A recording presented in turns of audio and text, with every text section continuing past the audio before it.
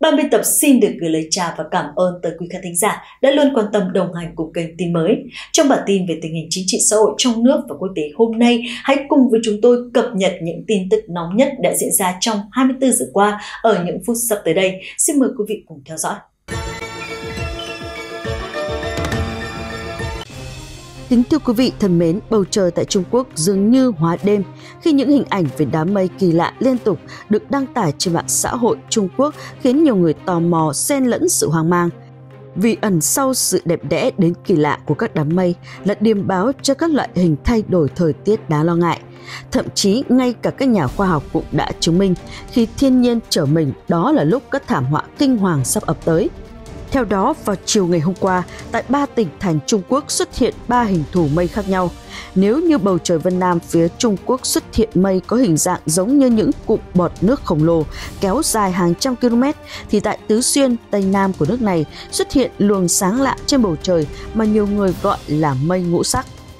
Trong khi đó, người dân tỉnh Thanh Hải bò chạy tán loạn khi thấy mây hình người lơ lửng trên bầu trời – nói về những bức ảnh được chụp lại tại Thanh Hải, Trung Quốc như một đám mây có hình thù như cái đầu hình người lớn, có cả thân và chân tay dài ngoằng đang lơ lửng trên trời. Đám mây kỳ dị trên được cho là dài hơn 300 mét. Theo Daily Mail, việc đám mây hình người này có màu sắc sẫm khiến cho nó trông như có thể được làm từ cái gì khác chứ không phải là do những đụn mây tạo nên. Từ góc độ của bức ảnh thì có vẻ như người này đang nằm trên trời và nằm theo dõi những gì diễn ra bên dưới khu vực đông dân cư. Đám mây bí ẩn xuất hiện khoảng 45 phút đồng hồ. Nhiều người cho rằng rất có thể những đám mây này xuất hiện để cảnh tỉnh giới chức lãnh đạo Trung Quốc hay mau ăn năn, sám hối, tội lỗi. Một số người cho rằng sự xuất hiện của nó là một biểu hiện từ Chúa một nhân chứng cho biết chúng tôi đã bị sốc khi nhìn thấy hình ảnh đám mây trông giống con người trong suốt 45 phút một số người đã bắt đầu lễ bái, trong khi những người khác thì bỏ chạy. Thật kỳ lạ, nhân chứng cho biết thêm. Khi các video được lan truyền trên mạng, vì các đám mây có hình dạng giống như cụm bọt nước khổng lồ ở Vân Nam xuất hiện vào lúc 17 giờ chiều ngày hôm nay. Những bóng mây này xếp chồng lên nhau, đan xen khiến chúng giống bắp tay cuồn cuộn của chàng lực sĩ khổng lồ. Theo các nhà thiên văn học, thì những đám mây này là dấu hiệu của rông bão lớn, kèm theo sấm sét trong các tháng có thời tiết giống như hiện nay tại Trung Quốc. Trong khi đó, thì một trong những dấu hiệu thiên nhiên liên quan đến động đất, đó chính là sự xuất hiện của những luồng sáng lạ trên bầu trời tứ xuyên vào lúc 20 giờ 30 phút tối. Trong giới khoa học, người ta gọi là các luồng sáng ấy là ánh sáng động đất. Theo người dân, thì ánh sáng động đất này kéo dài khoảng 20 phút một số dữ liệu ghi nhận sự xuất hiện của thứ ánh sáng này có thể tới như trận động đất Karabala vào năm 1975, động đất ở Tứ Xuyên, Trung Quốc năm 2008. Lý giải vì sao ánh sáng động đất lại xuất hiện trước thảm họa, giáo sư thuộc Đại học Broker giải thích. Khi có động đất thì các vết nứt gãy dưới lòng đất giải phóng điện tích và không khí. Chúng ion hóa các phần tử không khí và hệ quả là gây ra thứ ánh sáng đặc biệt nói trên. Đây không phải là lần đầu tiên người ta nhìn thấy đụn mây có hình thù kỳ dị xuất hiện trên bầu trời, khi trước đó cũng ở tỉnh Cam Túc, Trung Quốc đã có nhiều trường hợp gây tranh cãi xoay quanh những đám mây trông giống như bàn tay giận dữ của Chúa hay đôi cánh thiên thần. Cũng theo tờ The Times của Ấn Độ cũng cho biết, Jung Ho Cho, một học giả người gốc Hoa đang sống tại California của Mỹ, được cho là người có thể dự đoán 39 trận động đất kể từ năm 1990 bằng cách sử dụng các lý thuyết về đám mây động đất. Ông là một nhà khoa học đã nghỉ hưu, sử dụng hình ảnh vệ tinh về các công cụ khoa học khác để tinh chỉnh lý thuyết của ông về đám mây động đất như là dấu hiệu thảm họa thiên nhiên đáng sợ này. Điều này cũng thật sự trùng hợp khi gần đây hiện tượng động đất liên tục xuất hiện tại Trung Quốc, gây nên những thiệt hại về người và của hết sức nặng nề. Chuyên gia khí tượng học Jeff Lavrov đã lên tiếng giải đáp bí ẩn thông qua bản sao Twitter. Ông cho biết những hiện tượng Mamatut hay dân gian gọi nôm na là hiện tượng mây vẩy rồng hay là mây gò bồng đào.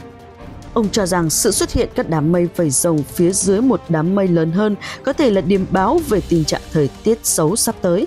Chúng thường xuất hiện sau khi có sự thay đổi hay chênh lệch lớn về nhiệt độ, khoảng độ ẩm khi trời sắp có rông bão kèm sấm chớp. Các nhà khoa học khác cũng tán đồng quan điểm nêu trên của chuyên gia khí tượng học. Họ nói thêm rằng mặc dù đa phần các đám mây có dạng mặt phẳng như Mamatus lại sở hữu các túi hình tròn phía dưới những đám mây khác, do không khí chìm xuống gây ra hiện tượng độ nội âm. Các nhà khoa học khác cũng tán đồng quan điểm này. Trung Quốc nâng cảnh báo lũ lụt lên mức khẩn cấp quốc gia, hơn 1.000 người thiệt mạng và mất tích. Vào ngày hôm qua, Trung Quốc đã nâng mức độ cảnh báo lũ lụt lên mức ứng phó khẩn cấp quốc gia do mưa lớn diễn ra liên tục và lũ lụt xảy ra trên khắp đất nước. Trong trận lụt lần này, hơn 100.000 người đã thiệt mạng. Kỳ thi đại học đã bị trì hoãn, truyền hình nhà nước Trung Quốc đưa tin rằng Văn phòng Chính phủ Trung Quốc chịu trách nhiệm kiểm soát lũ lụt đã nâng mức ứng phó lên mức 3 trong thang cảnh báo 4 mức, đồng thời cho biết rằng 14.117 nhân viên cứu hộ và ứng cứu khẩn cấp đã được triển khai để ứng phó với lũ lụt. Các nhà chức trách xác nhận rằng trên toàn quốc đã có ít nhất 1.190 người đã chết hoặc mất tích do mưa bão. Bộ ứng phó khẩn cấp ước tính thiệt hại về kinh tế vượt qua 40 tỷ nhân dân tệ, tức khoảng 5,7 tỷ đô la Mỹ. Theo cơ quan khí tượng Trung Quốc, các tỉnh bao gồm Quý Châu, An Huy, Hồ Nam và Hồ Bắc Thiểm Tây dự kiến lượng nước mưa đạt khoảng 250 cho đến 280 mm. Theo China Daily đưa tin, vào hôm qua, thành phố Vũ Hán, nơi dịch viêm phổi Vũ Hán bùng phát lần đầu tiên, đã chịu một trận mưa lớn kỷ lục với lượng nước mưa đạt 426 mm. Chính quyền đã phải sử dụng máy bơm lớn để hút nước từ những con đường bị ngập lụt tại thành phố. Tân Hoa Xã đưa tin rằng một hồ chứa nước chính ở phía đông nam tỉnh Chiết Giang đã phải mở các đập tràn lần đầu tiên sau 9 năm để hạ thấp mực nước lũ. Năm nay, Trung Quốc có khoảng 11 triệu học sinh đang chuẩn bị cho kỳ thi vào đại học. Cơ quan khí tượng cảnh báo các phụ huynh cần chú ý xem thông tin về dự báo thời tiết, chuẩn bị cẩn thận cho con em khi đi ra ngoài.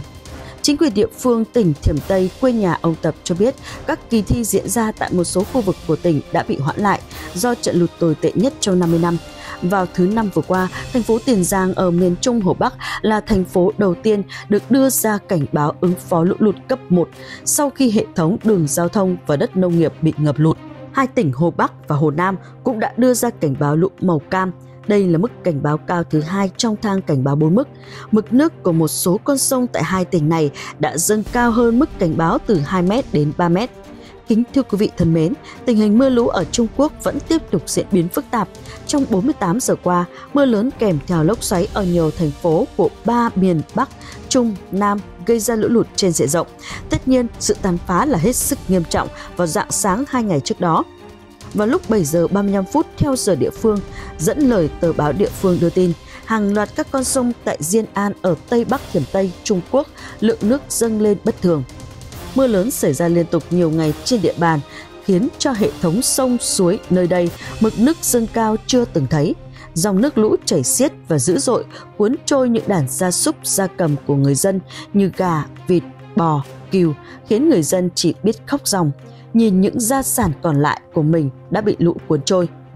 Đặc biệt cho địa hình ở đây đa số là núi, đồi, sông, suối, nhiều ngôi làng ở khu tự trị này cũng hứng chịu hiện tượng sạt lở núi và lũ quét vô cùng nghiêm trọng. Truyền thông địa phương cũng đã xác nhận vào khoảng 6 giờ 45 phút cùng ngày thì một vụ lở núi đã xảy ra ở khu tự trị Bui. Khoảng 10.000 mét khối đất đá đã bất ngờ lở xuống tại ngôi làng, vùi lấp hàng trăm ngôi nhà. Được biết vào khoảng thời gian đó, người dân vẫn đang trong giấc ngủ say.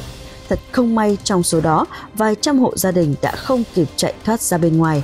Vì vụ lở đất xảy ra trong chớp mắt khiến người dân trao đảo không kịp đối phó, bị chôn vùi dưới lớp đất đá trông rất kinh hoàng.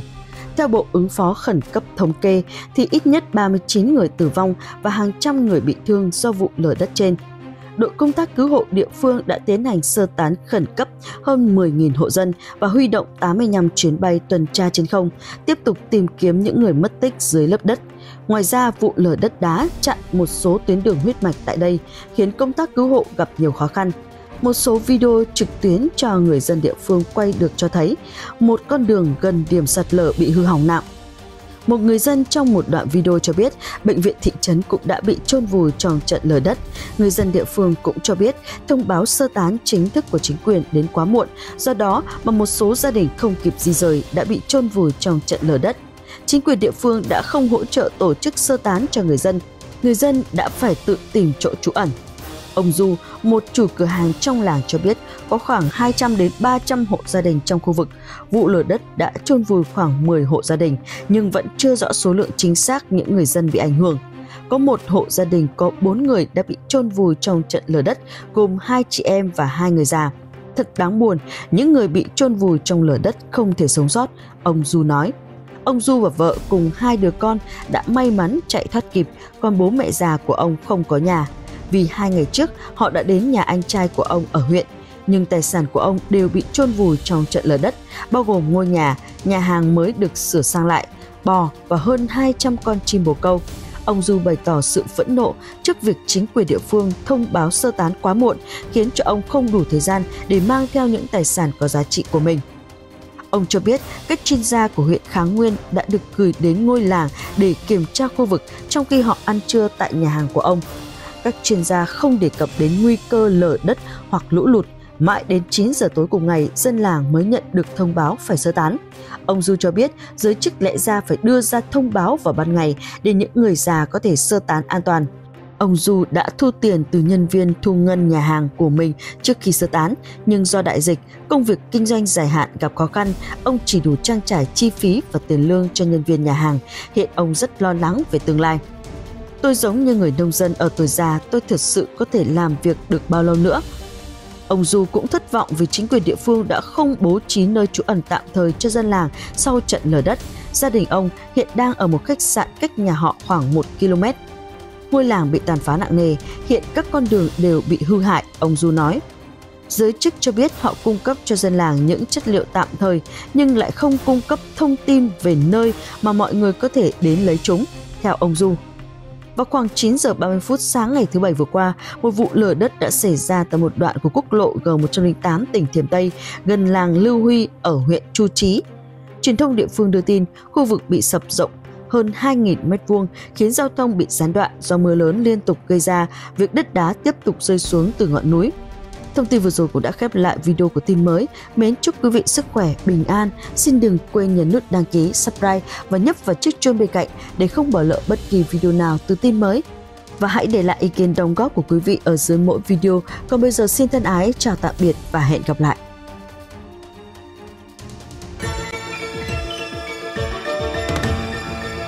Ơn quý vị và các bạn đã chú ý theo dõi mọi ý kiến đóng góp của quý vị. Hãy để lại trong phần bình luận video này để chúng tôi có thể kịp thời giải đáp những thắc mắc giúp quý vị. Nếu quý vị thấy hay thì hãy nhấn like và nhấn biểu tượng chuông phía dưới để không bỏ lỡ những video mới nhất của ban biên tập chúng tôi nhé. Hẹn gặp lại quý vị trong các bản tin tiếp theo của tin mới.